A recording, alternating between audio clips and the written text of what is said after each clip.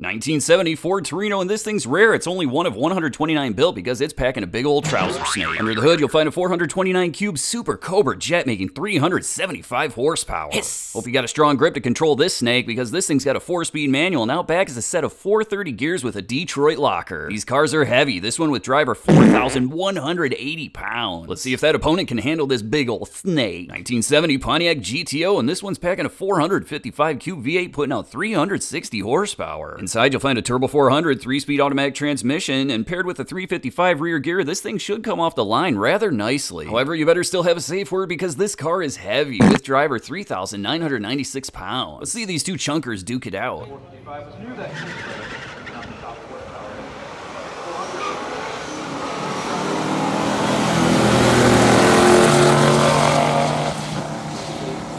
And it's the GTO that takes home the win in this race. Make sure you check out my other videos.